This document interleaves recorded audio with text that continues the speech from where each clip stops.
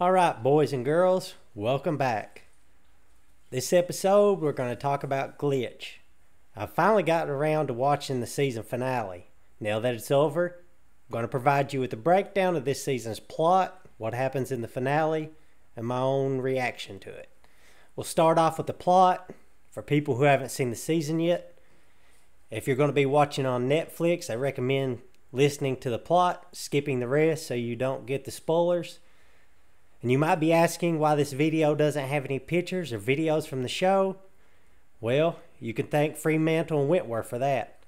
They flagged my other video because I used still pictures, so you can blame them. Alright then, here we go. Let's start with the plot. The first season, excuse me, the first episode of season 3 introduces us to Chant, Tam Chi and Belle. Both return from the dead. The episode focuses solely on these two characters. It gives the show a fresh start, and I really appreciated that personally. After that, we are introduced to Sam Guard and Mark. They both work at Nord. Well, Sam works at Noregard, and I guess Mark is kind of hired by him to track down the dead. Dr. Hyson is out. Sam has other plans. He enlists the help of Mark to track down and capture the dead. Mark is played by Dustin Clare, who many will remember from Spartacus and Underbelly. If you'll remember, he played Mr. Rentakill. As for our dead friends, they go in separate directions. Kirsty and Charlie decide to go to the big city so Kirsty can party it up. While there, Charlie meets a boy named Raph. James visits his family pretty much everyone leaves Yoorana. The only ones that stay behind is Tamchi and Bella. But they're, you know, they're still new to the show and they're not sure what happened to them. They're trying to get everything figured out. And uh, Sam Noregard, he has an offer for the dead. He wants to take them to Sweden and study them. Meanwhile, Phil, who was the villain last season, has a change of heart. He comes back and he tries to help them which they're hesitant to take his help, but they eventually come around. As for Paddy, I guess he was killed last season, but it, that is not the end of him.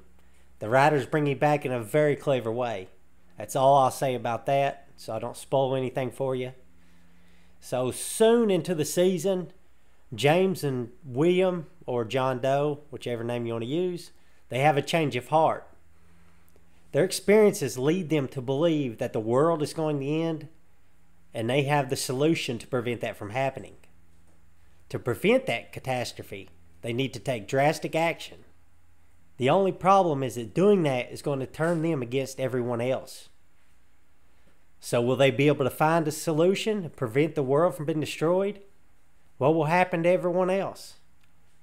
Well, you'll have to watch the season to find out, or you can always catch up with the recaps on Reel Mockery. All right, then, I'm going to stop there. Hope I didn't give too much away. Now it's time to focus on the season finale. If you haven't seen it yet, I suggest stopping here. Otherwise, you're going to run into support. Uh, you're going to run into spoilers. Don't say I didn't warn you. The finale starts with Kate rushing back to the lake house to warn the others that James and William are out to kill them. They're not going to go down without a fight. For too long, William tries to break in. He's shot but not killed. Kate and the others make it to Chris's house. From there, they begin making plans about what to do, all this and that. Uh, James enters at one point and he's taken into custody. He's handcuffed. Kate and Chris takes him to the police station. And everyone begins making plans about what they want to do in the future. Charlie decides to meet with Raph at the nearby motel, pub, whatever it is. And they decide to go to and they want to go to Melbourne together. Kate wants to get away from Yoorana too. Tam and Belle, honestly, they're a bit aimless. They don't really have much planned out. Kirsty is the only one that decides to take the offer from Sam at Noregard. She agrees to go to Sweden. She goes there and she gets put into the uh, like a safe room for her. The only problem is she soon finds out that not everything is as it seems. As for James, he stays locked up until William recovers, escapes from the hospital, and releases him. Kirsty also makes her escape and eventually meets up with the other. Midway through the episode, Raph is uh, shot with a stun gun. He goes down, has a heart attack, and he dies, returns, nobody notices. Eventually, everyone makes their way to the cemetery. James and Williams try to convince the others that they have to die to save the world. At this point, Raph uh, reveals that he has died and he has a change of heart too. He agrees with William and James. As for Tam Chi, he finds out that he was actually killed by a young Paddy. And he wants to perform the ritual release the spirits. While the others want to leave, William eventually uses some words of wisdom and he blows that whistle. They didn't show it much this season, but it was more prominent in the seasons before. He blows the whistle and it convinces everybody that they're telling the truth. They have no choice and they realize that they all have to die. The only one that ends up surviving is Chris. When they die, their deaths, are, uh, their deaths restore balance to the world, the fires are stopped, and that's it. We jump forward several years and we see Chris at the cemetery with a much older Nia, James's daughter. He promises to tell her everything that happened on the day of the fire. He gives her the whistle that William used and tell her it was the only thing that was spared by the fire. So Chris is the sole survivor of it all. Alrighty then. Now we're going to get into my own personal opinions, which are just mine. It's not saying anything personal about people that didn't like it. I just try to give you a perspective of of why I thought it was halfway decent or good or whatever. So anyway, I liked the finale. There were a few things that irked me a bit. I liked the season a lot, but it does seem a bit pointless now the Noregard guys running around trying to capture everyone, it really led to nothing. Mark just gave up in the end. And the offer to go to Sweden, nobody took that offer, so it kind of was kind of pointless too. William ran into Millie, which was very interesting at the time, and it had a purpose because that's when he discovered the truth. But I would like to have seen that relationship play out a bit more. Another thing is Owen. Owen was shot and killed, so why didn't he return to life after being killed? So the finale was a bit rushed to some degree. Still, I enjoyed it, and I felt that the end was fitting. The writers were obviously limited here. What else could they have done? Sure, they could have found a cure that protected the earth and allowed the dead to continue living, but I mean, how realistic would that have been? People probably would have complained about that too. I'm not sure doing anything else would have been any better, honestly. And obviously, if you watch the season, you could kind of see the end coming, somewhat kind of predictable.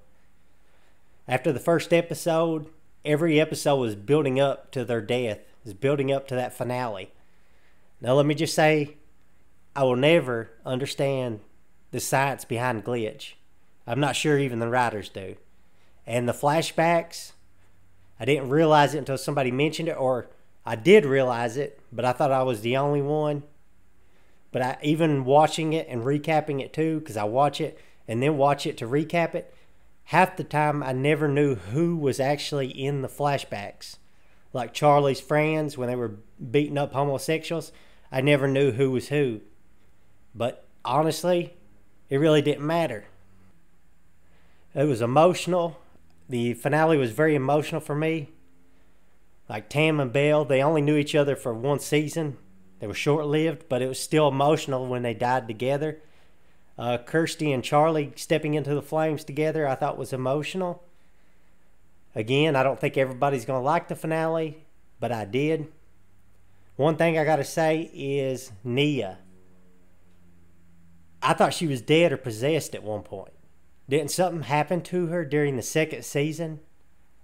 I could be wrong, but I really need to go back and check my own recaps to find out. Because it seems like something happened to her.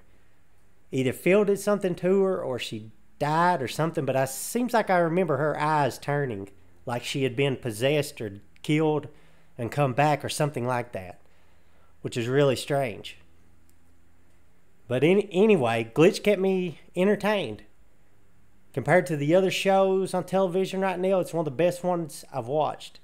I've been enjoying Glitch and Les Norton.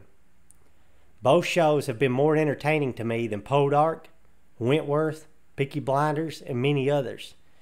That makes me appreciate it so much more. And one thing I'll say is the show really it really was more about the characters and their relationships and their history, but really their relationships with each other more than the science and the science fiction of it all. To me, it was. But that's my personal opinion. I liked the season. I enjoyed the finale. Sure, it probably could have been better, but I enjoyed it. So let me know what you think. Did you like the season? What did you think of the finale? Let me know. I really appreciate seeing other perspectives because it kind of lets you see things from another angle as long as you're willing to be open minded, which some people are, some people ain't. But anyway, thanks for watching. Thanks for using Reel Mockery. Hope to see you again in the future.